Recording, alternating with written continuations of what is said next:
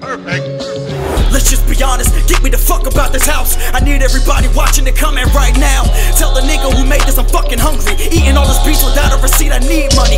I did a photo shoot off of bar funds and I'm broke. Chasing dreams in the thread and I'm dead without any hope. Fuck everybody else who be rapping, this is all that I got. I live or die by this ink incorporated a lot. I speak truth in my lines without a dollar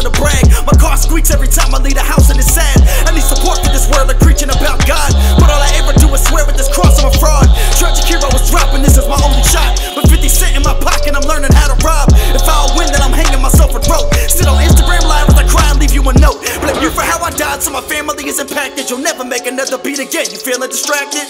Huh. You probably think I'm crazy, right? Feeling the psycho, broke rapper stereotype. But in the end, I don't see another option for sure. There ain't no food on my table, so I'm coming for yours.